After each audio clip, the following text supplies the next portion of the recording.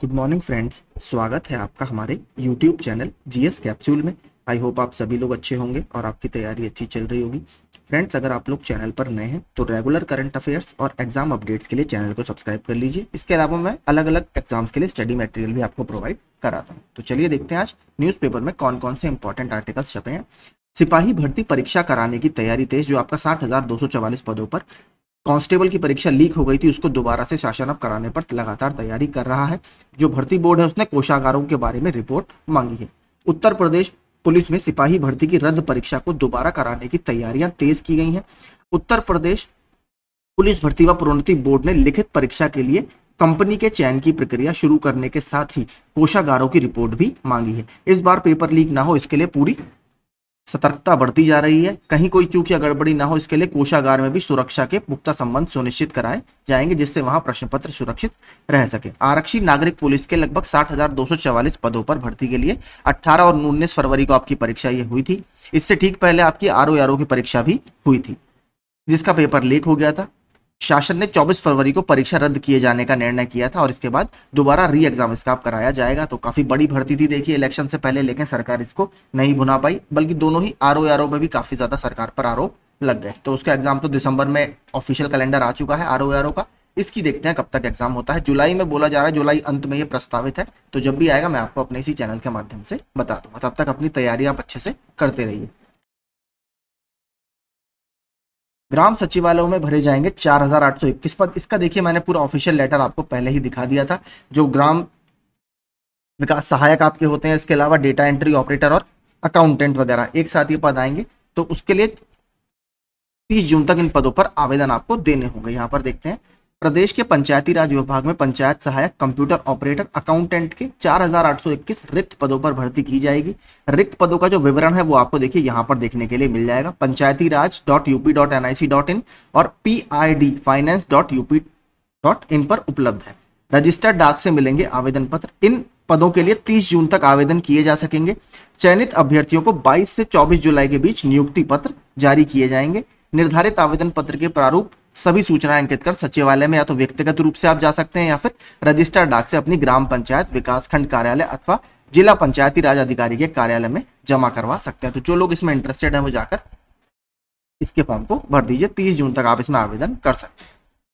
कुछ और देखिए, जो जॉब्स हैं, वो मैंने कुछ निकाले हैं। सहायक उप निरीक्षक यानी एएसआई के 243 और हेड कांस्टेबल के बारह पदों पर वैकेंसी गृह मंत्रालय ने सीमा सुरक्षा बल, केंद्रीय सशस्त्र पुलिस बलों में सहायक उप निरीक्षक आशुलिपिक यानी स्टेनो और हेड कांस्टेबल के मिनिस्टीरियल, लड़ाकू मंत्रालय व वारंट अधिकारी, पर्सनल असिस्टेंट और हवलदार के लिए भर्ती निकाली है।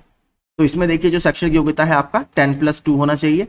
आयु सीमा इसमें तेईस वर्ष और मिनिमम आपकी अट्ठारह वर्ष, अट्ठारह से तेईस साल के बीच में होनी चाहिए।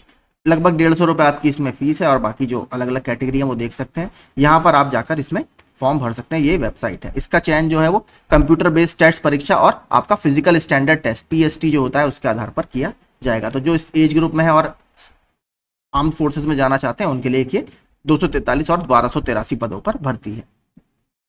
इसके अलावा ये हमने ऊपर कवर कर ही लिया है, ठीक है? यूपी की ग्राम पंचायतों में सहायक अकाउंटेंट और डेटा एंट्री ऑपरेटर के चार हज़ार आठ सौ इक्कीस पदों पर वैकेंसी। इसमें भी पूरा दिया हुआ है अट्ठारह से चालीस वर्ष, यूपी बोर्ड से बारह या और किसी बोर्ड से आप बारह कक्षा पास हो और बाकी सब यहाँ पर आप देख सकते हैं। चयन प्रक्रिया मेरिट बेसिस पर। अग्निवीरों की भर्ती 24 जून से अयोध्या में होगी। इसके बारे में थोड़ा सा देखते हैं। भारतीय सेना में अग्निवीरों की 24 जून से भर्ती अयोध्या में होगी। रिक्रूटिंग जोन मुख्यालय की ओर से अयोध्या के डोगरा रेजिमेंट सेंट्रल ग्राउंड में 2 जुलाई तक आयोजित भर्ती रैली में युवाओं को 1.6 किलोमीटर की दौड़ लगानी होगी। Zigzag balance no fit ditch and beam की परीक्षा देनी होगी। इसके बाद परीक्षार्थियों फ़िज़िकल मेज़रमेंट टेस्ट के तहत ऊंचाई, वज़न और सीने का टेस्ट होगा। तो यहाँ पर आप देख सकते हैं, ये ये इसमें है।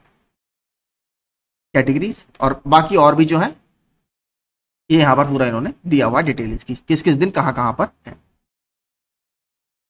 आई प्री में तथ्यों के साथ साथ समझ की भी हुई आपकी परीक्षा तो ये कल एग्ज़ाम संपन्न हो गया है। हमेशा की तरह सकुशल इसको संपन्न करा लिया गया है। पिछली बार की अपेक्षा इस बार पेपर दोनों ही ठीक रहे। सी सेट में बहुत ज़्यादा टफ पेपर आ जा रहा था, जिससे हिंदी माध्यम के अभ्यर्थी ज़्यादा इसको क्वालिफाई नहीं कर पा रहे थे। तो इसमें प्रयागराज की अगर बात करें तो लगभग पचास फ़ीसदी अटेंडेंस वहाँ पर रही है, चौवन फ़ीसदी। और इस बार सब कह रहे हैं, देखिए कट ऑफ़ इसमें ज़रूर बढ़ेगा। यहाँ पर आप पढ़ेंगे ऊपर आसान रहा सामान्य अध्ययन का पेपर कट ऑफ़ ऊपर जाने की उम्मीद सी सेट का पेपर भी सामान्य स्तन का रहा, जिससे काफ़ी ज़्यादा बच्चों को राहत मिली, क्योंकि कई बार मैंने देखा है जीएस में सौ सौ से ऊपर नंबर भी होते हैं, लेकिन सी सेट में पचास पचपन पर सब रुक जाते हैं। तो ये थोड़ा टफ बनाते हैं सी सेट काफ़ी ज़्यादा बच्चे इसमें बाहर हो जाते हैं। यहाँ पर कुछ प्रश्न दिए हुए हैं जो इन्होंने पूछे हैं, जैसे यूनेस्को की जो हेरिटेज लिस्ट आती है, उसमें सबसे लेटेस्ट एडिशन कौन सा है? तो जैसे गरबा था उसमें। इसके अलावा राजेंद्र प्रसाद से पहले जो हमारी संविधान सभा थी, उसके टेम्परेरी अध्यक्ष कौन थे? जो डॉक्टर सच्चिदानंद सिन्हा जी बने थे। इस तरीके के कुछ प्रश्न पूछे थे। एक पूछा भी था कि कौन से दो देशों के बीच में सबसे लंबी इंटरनेशनल बाउंड्री है? तो यूएस और कनाडा के बीच में जो आपकी फोर्टी नाइन्थ लाइन है, वही उसका आंसर था। ये कुछ प्रश्न उन्होंने इसमें पूछे थे। तो जिनका जिन्होंने भी एग्ज़ाम दी आपको प्री परीक्षा के रिज़ल्ट के लिए मेरे चैनल की तरफ़ से बहुत बहुत शुभकामनाएँ। अगला देखते हैं। एक ये और भर्ती है। भारतीय अग्निवीर वायुसेना आवेदन इसके 8 जुलाई से शुरू होंगे। ये ग्रुप वाइज जो आती है, इसमें ढाई हज़ार पदों पर आपकी बहाली होगी। तो देखिए, ये भी अच्छा ऑप्शन है, अगर कोई इंटरेस्टेड है तो वो देख सकता है। वायुसेना ने अग्निवीर भर्ती 2024 के लिए अधिक आधिकारिक अधिसूचना जारी कर दी है। भारतीय वायुसेना में केंद्रीय सशस्त्र चयन बोर्ड के द्वारा अग्निवीर वायु इंटेक दो 2025 के तहत 2500 वाइस श्रेणी के तहत अग्निवीर एयरमैन की नियुक्ति प्रक्रिया के लिए 8 जुलाई से आपके आवेदन शुरू होंगे और 28 जुलाई तक आप ये भर सकते हैं। एज इसमें देख सकते हैं 21 वर्ष और मिनिमम साढ़े सत्रह वर्ष आपकी होनी चाहिए। आरक्षित वर्ग के अनुसार आपको सीमा में छूट का लाभ मिलेगा। ये कुछ इन्होंने इसके फ़िज़िकल मेज़रमेंट दिए हैं और यहाँ पर आप जाकर अग्निपथ वायु C D A C dot in पर जाकर आप आवेदन अपने कर सकते हैं। तो जो कोई इंटरेस्टेड हो, इस फॉर्म को आप भर सकते हैं। तो यही देखिए आज सारे। न्यूज़पेपर में कमाए, कुछ रिक्रूटमेंट से ज़्यादा संबंधित आज ज़्यादा आर्टिकल्स थे। तो आप इन अगर जॉब्स में इंटरेस्टेड हो तो फॉर्म्स को भर लीजिएगा। बाकी कोई और अपडेट आएगा तो वो भी मैं आपको समय से प्रोवाइड करा दूँगा। वीडियोज़ आपको अच्छे लगते हो यूजफुल लगते हो तो प्लीज़ चैनल को सब्सक्राइब कर लीजिएगा। Thank you so much